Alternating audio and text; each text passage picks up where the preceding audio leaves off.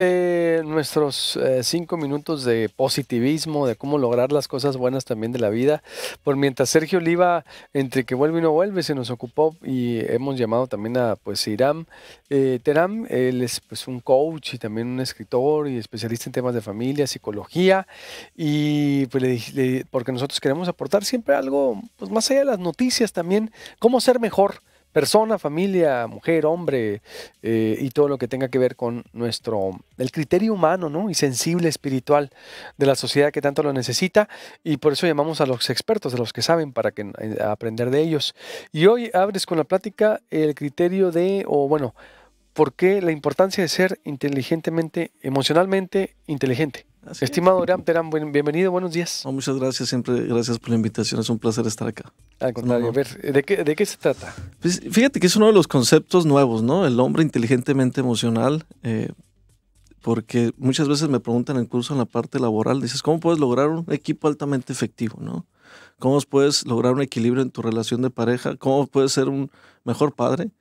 Y dices, bueno, si quieres lograr un equipo altamente efectivo y en todos los años de experiencia que tengo formando equipos de trabajo es conociendo las emociones de las personas, identificando sus emociones, pero para eso primero necesitas encontrar tus emociones, identificar las tuyas. Entonces, estas, estos nuevos términos son súper importantes y empiezas a meter palabras en tu día a día que son muy complejas para, para el mexicano en general. Tengo la fortuna de dar la conferencia del arte de amar ya en toda la República. Acabo de venir de, León, San Luis y Guadalajara. Este, y en todo el país hay un machismo muy fuerte. Y una de las cosas que notas es que hay, van muchas mujeres, por ejemplo, sin el esposo.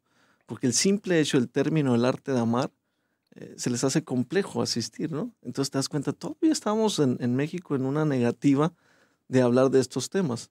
Por ejemplo, el amor, que es una palabra importante. El amor, por ejemplo, aplicarlo en, no el amor eros, no, el amor más ágape del prójimo, la máxima es tratar a los demás como te gustaría que a ti te trataran. Por ejemplo, no sé, te pasa en tu equipo de trabajo.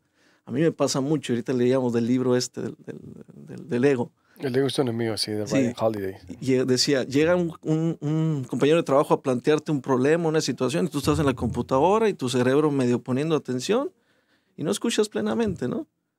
eso es un acto no de amor, ni de respeto, ni de humildad. Entonces, el hombre inteligentemente emocional, laboralmente, sería ese que dice, ok, permítame, tú eres igual de importante, te trato con amor, como me gustaría a mí que me tratara mi jefe, te escucho plenamente, eh, pongo atención plenamente, anoto lo importante, te doy los minutos, mi sonrisa, y damos por terminado. Eso es, eso es lo, que, lo que nos referimos al hombre inteligentemente emocional.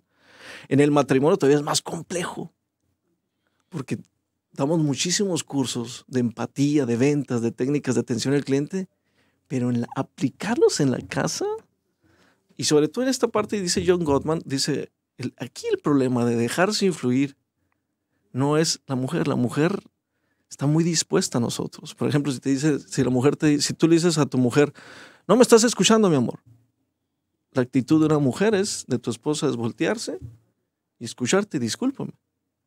Si tu mujer te dice a ti, no me estás escuchando, la reacción del hombre la siente como una reacción dominante, de poco respeto, y va a reaccionar y va a decir, pues ya te estoy escuchando. Pues, pues siempre, siempre me platicas lo mismo. Pues no tengo, tu, no tengo tu tiempo. No se deja influir porque no hay respeto y humildad.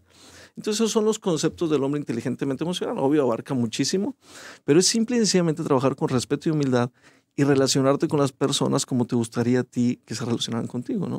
Y, pero, ¿y qué recomendaciones das a los padres con los hijos? Porque las emociones se debieran trabajar desde la niñez, ¿no? Uno ya las trabaja de adulto, pero ya llegas tarde y empiezas a tomar control de tus emociones, y empiezas a entender la, la inteligencia emocional y todas las cosas que debiste atenderlo desde siempre, pero mm, por, te estrellas tantos. Por eso hay mucha gente que a los 40 no se da cuenta que es muy inmaduro y piensa como un niño de 10 todavía en el plano sobre todo emocional. Yo lo conozco, mi trabajo no es tanto en, en, la parte personal, realmente yo trabajo en la parte ejecutiva y luego me lleva a la parte personal. Por ejemplo, el mayor problema, la gente es que estoy trabajando son personas entre 40 y 50 años, 35 y 50, por ejemplo, en casos de, separación, ejecutivos que de repente, pues mira, si yo tengo un vendedor que se me casó, el mejor, uno de los mejores vendedores, se me iba a casar dos meses antes, desapareció del, en el plano de ventas Imagínate lo que pasa en una separación.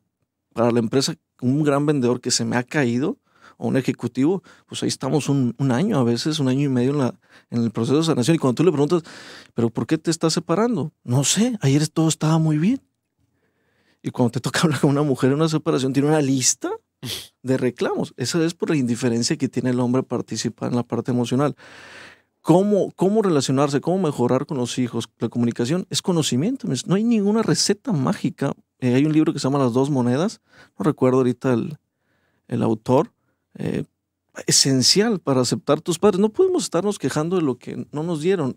¿Quién de aquí tuvo un padre perfecto? Pues ni siquiera tuvimos papá. Yo no tuve papá es hacerse cargo del hombre que ya existe y agradecer que no tuviste papá. Eso, eso, es muy difícil, sé que es muy difícil, a eso más de un terapeuta, pero ese libro Dos Monedas te da, y el de One Dyer, de Zonas Errones, creo que también es un, un parteaguas que todo ser humano debería leer, y alto ejecutivo, para no terminar a los 50 años, 55, siendo inmaduro, ¿no?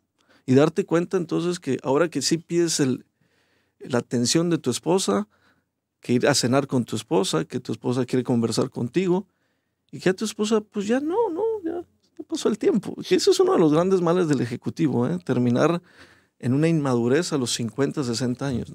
Y como dices, oye, ese está muy bueno el ejemplo que dijiste. ¿Por qué te estás separando? Pues no sabía ni. No sé si de ayer estaba todo bien, pues yo creo que no estaba todo bien, ¿no? No. Nos damos cuenta ya tarde. ¿Dónde, dónde te pueden.? en las redes sociales. En las redes, ¿cómo estás? como eh, Iram Terán. Estamos en la Facebook y en Instagram. Que te he visto crecer muchísimo en Instagram, ¿no? Ah, ya te vi más.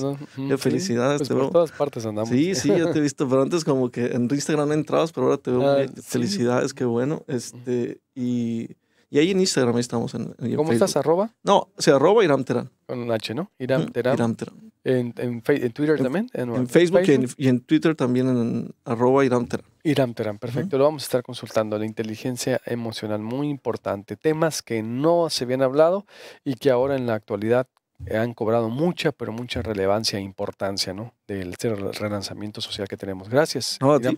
que pase excelente. Mañana ya nos vamos en proyectopuente.com.mx. Se queda todo en Facebook Live, en Twitter, en nuestro canal.